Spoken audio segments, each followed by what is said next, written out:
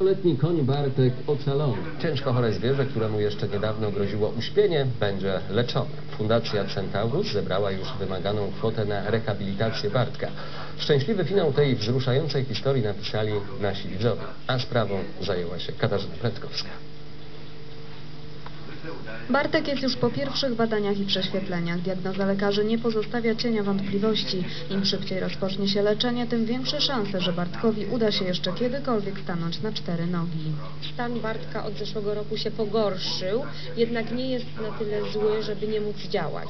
Już w sobotę Bartek trafi do kliniki w okolicach Gniezna. Tam lekarze zoperują jego przednią nogę z powodu źle funkcjonującego ścięgna. Zwierzę nie może jej wyprostować. Następnym etapem będzie leczenie drugiej z przednich kończyn, tak by z powodu długotrwałego obciążenia nie wydało się żadne zapalenie.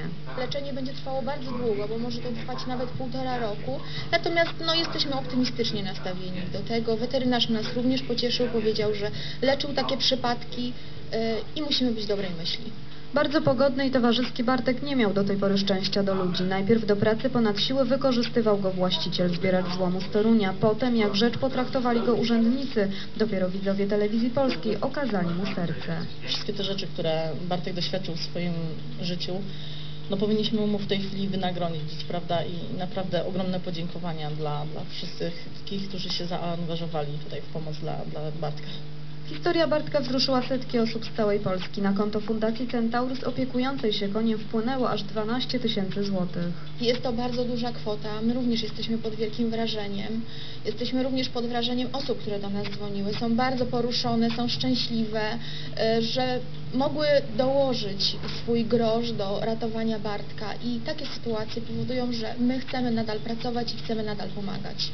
Leczenie Bartka będzie kosztować około 8 tysięcy. Pozostałe pieniądze, także te zebrane podczas koncertu dla Bartka w Lubostroniu 10 października, fundacja przeznaczy na utrzymanie zwierzęcia i ratowanie innych zagrożonych koni.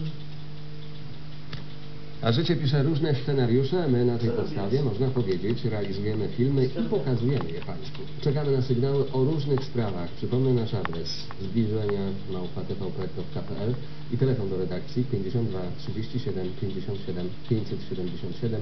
Zachęcam też do odwiedzenia naszej strony internetowej www.bydgoszcz.tvp.pl